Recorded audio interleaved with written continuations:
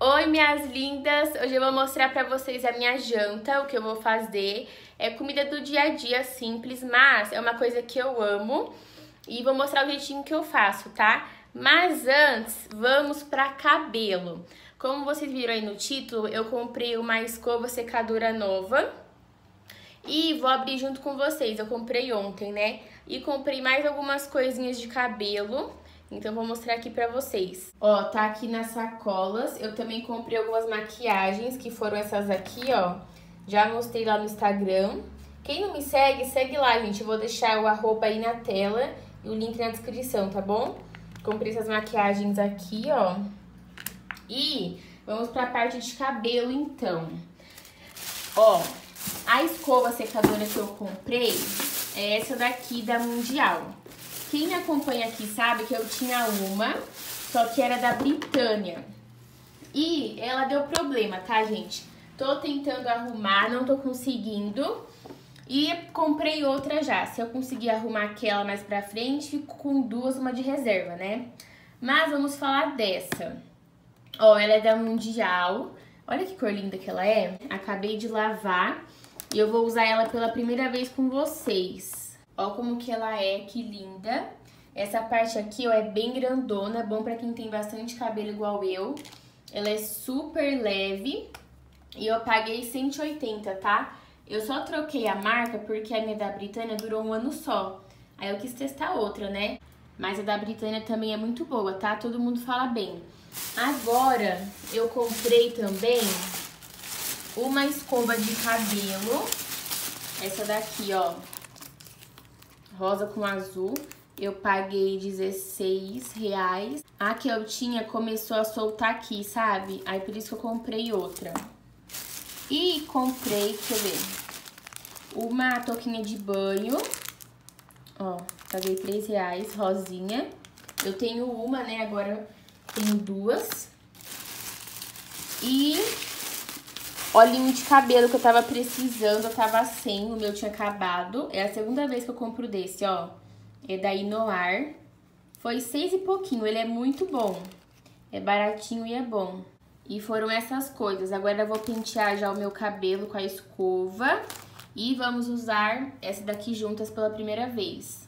Só uma coisa sobre a escova. Eu acho que quando a raiz tá molhada, ela não pega muito a raiz, sabe? Ela é maravilhosa. Só que eu sinto que quando eu uso só ela, a raiz fica um pouco úmida. Então, geralmente eu deixo o cabelo secar natural, né? Então a raiz fica mais sequinha e tá ótimo. Mas quando tá muito molhado, o que eu faço? Eu pego o secador e eu bato o secador só no couro cabeludo mesmo, sabe? Pra ficar sequinho essa parte e depois eu venho com a escova. Então só isso, tá? Que eu achei bom falar pra vocês. Mas mesmo assim, ela ainda compensa muito, tá? Porque ela deixa o cabelo modelado, sabe? Sem chapinha. Fica aquele efeito escova. Já passou mais um tempinho, daí eu nem vou usar mais secador, porque já deu uma boa secada. Então, ó, vou dividir no meio. E aí, vou pegando mecha por mecha como se fosse passar chapinha. Se você não repartir o cabelo, tipo, vai dar pra secar, só que não vai ficar modelado, sabe? Então, ó, ela tem três velocidades igual a outra.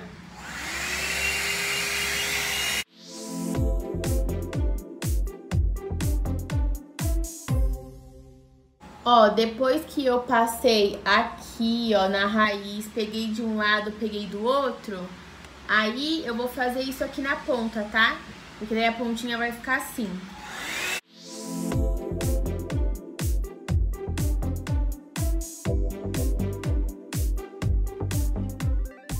Ó como ficou essa primeira mecha. Ficou bem lisinha, nem precisa de chapinha, tá vendo?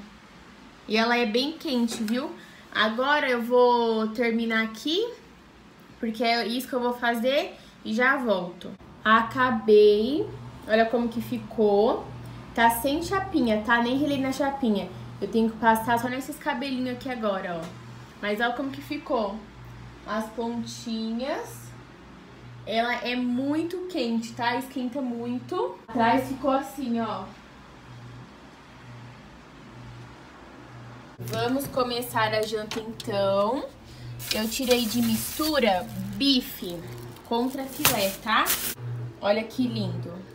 E caro, né? E daí eu vou fazer feijão. Ó, os meus potinhos de feijão estão aqui. Primeira vez que eu vou fazer feijão em vídeo, eu acho. Ó, congeladinho. É, já perguntaram se a gente não come feijão, mas eu, a gente come, tá?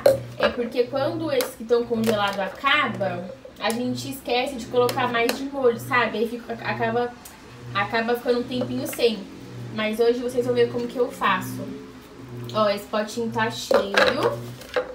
Então, arroz, feijão, bife. E eu acho que o que mais vai combinar vai ser tomate. Deixa eu pegar. Vou usar só dois.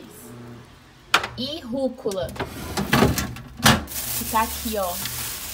O Gustavo comprou só rúcula porque não tinha alface no mercado. Então, vou fazer uma salada de rúcula com tomate.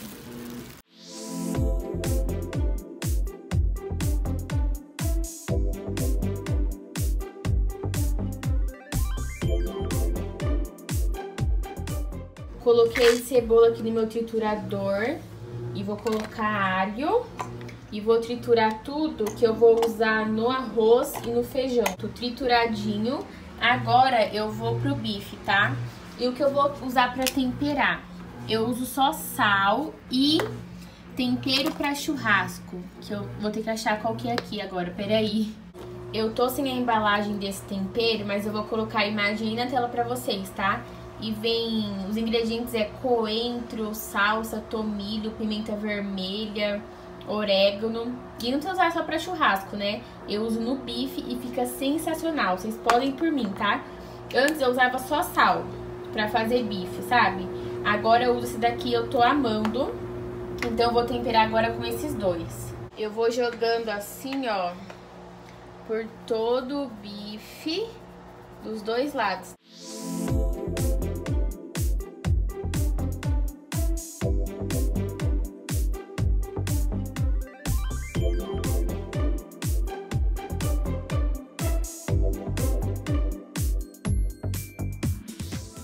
Começar pelo feijão, já coloquei um pouquinho de óleo e deixei aquecer.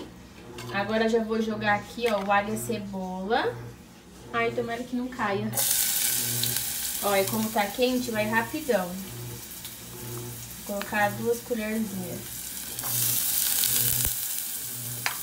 Dou uma balançada. Coloquei o feijão temperado. E vou jogar a água fervendo. A água fervendo ajuda mais rápido, né? E vou colocar o tanto que eu quero de caldo. Eu acho que tá bom. Eu congelo o feijão sem temperar, tá? Que eu acho melhor. Então, depois que ele soltar, é que eu vou temperar. Tava gravando o arroz, só que a luz estoura na cor branca, sabe? Aí ficou ruim. Mas aqui tá o alho e a cebola, o arroz, já coloquei sal. Aí tô deixando dar uma fritadinha. Tá dando pra ver, né? O e a cebola. E aí, ó, vou jogar água fervendo também. Pra ir rapidinho.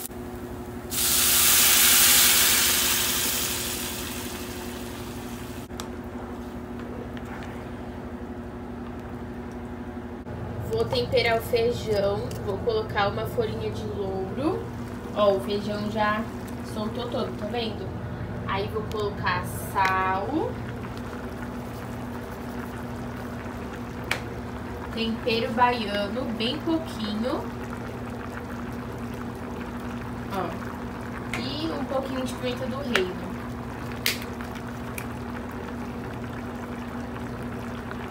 Então são esses temperos que eu coloco, tá? Vou colocar no feijão também um pouquinho de páprica, que eu nunca usei. Viria aqui no potinho, ó. E vamos ver se eu vou gostar.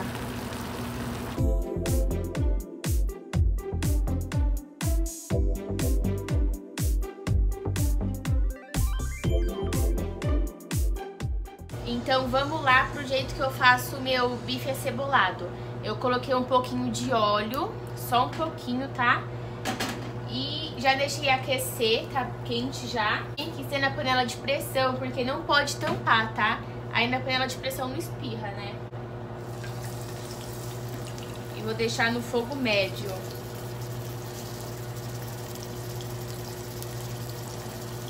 Aqui eu tenho que fritar de dois em dois.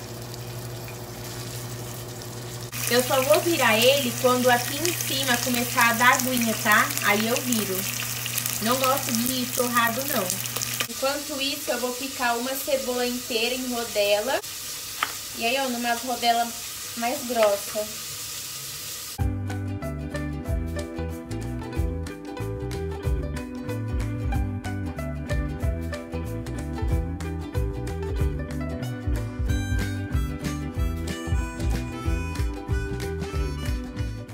Tá meio difícil de mostrar, mas ó, vou virar.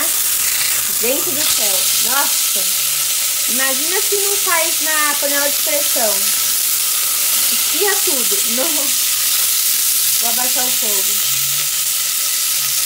O fogo daqui, além dele ser forte, tá na boca grande. Então por isso que tava espirrando assim. E deu uma...